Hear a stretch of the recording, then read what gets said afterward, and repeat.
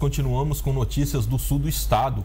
Indústrias, associações, empresas e a população das cidades de Varginha e Três Corações estão na bronca com o alto valor do pedágio que é cobrado na rodovia que liga os dois municípios, a CMG 491, que hoje é de R$ 13,17.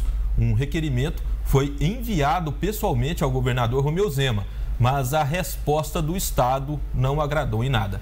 Confira com a Simonia Oliveira.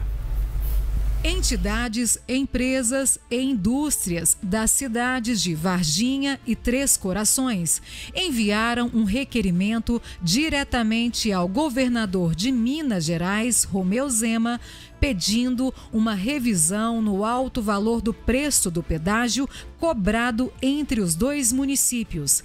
Atualmente, o pedágio é de R$ 13,17 para André Yuki, representante das diversas associações e entidades que enviaram o requerimento, o alto valor cobrado pode impactar em diversos setores econômicos, afetando diretamente o custo de vida e o desenvolvimento empresarial local.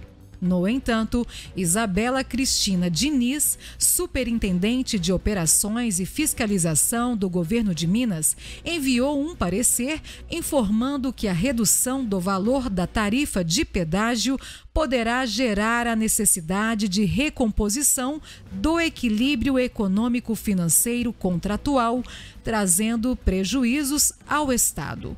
Contudo, ela ressaltou que há a previsão do desconto do usuário frequente, que proporciona a redução progressiva da tarifa para usuários que trafegam pelas praças com frequência, em o um mesmo sentido de fluxo, com mínimo de duas vezes. A tarifa cobrada do usuário frequente é reduzida progressivamente até a trigésima viagem no mês em relação à tarifa cobrada na viagem anterior.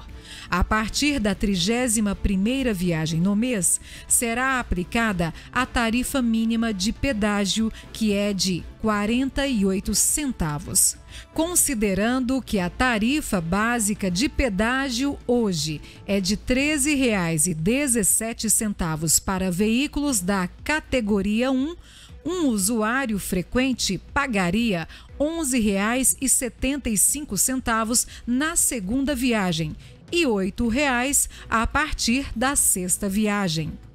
O representante das entidades e associações de Varginha e Três Corações não ficaram satisfeitos com a resposta do governo de Minas e disse que ela não atende às expectativas da comunidade empresarial e da população.